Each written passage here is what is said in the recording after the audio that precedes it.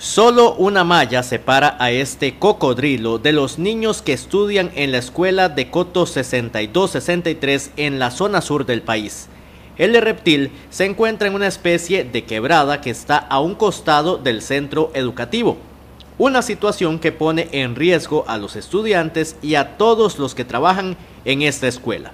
Aunque la presencia de este cocodrilo también es llamativo, la preocupación es grande, pues ya en el pasado cuentan que varios de estos animales ingresaron a las instalaciones de la escuela, situación que esperan que no se repita en este caso.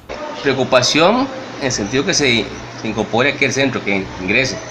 Esa es la gran preocupación ahorita, pero en la parte académica lo hemos visualizado en la parte positiva, lo que es el medio ambiente, el cuidado animal y toda esa cuestión. O sea, ha sido una atracción turística hacia los niños. Sin embargo, una preocupación grave que logre ingresar. Tengo entendido que años atrás, esta escuela se ingresa, y hubo un ingreso de un reporte de ingreso de unos 4 o 5 cocodrilos. Según el director de la institución de Coto 6263 en Río Claro de Golfito, ya se están realizando gestiones para buscarle una solución a este tema. Hemos estado trabajando con las líderes de la comunidad, presionando a la comisión, porque ustedes vieron alrededor que esa, ese Sanjo está muy inundado, está lleno. Y es preocupante por la cantidad de mosquitos, malos olores que se está generando. Dicho sea de paso, ya se está trabajando en eso.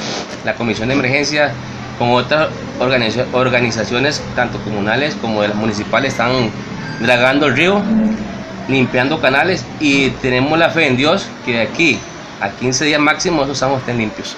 Este puente también es otra preocupación que se tiene, pues es un paso para niños y personas que circulan por esa zona, la misma donde se encuentra el cocodrilo, y puede provocar un accidente o algo más en cualquier momento. Como se ve en las imágenes, es una viga la que sirve de paso y el agua está casi a la misma altura. Porque ahí ese puente es peligroso. Entonces la idea es presionar a los líderes comunales, tanto a las cooperativas, a que den los permisos o gestionen cambiar esa infraestructura. Ahí lo que se proyecta es una alcantarilla grande y que serene. La escuela de Coto 6263 se encuentra en el cantón de Golfito.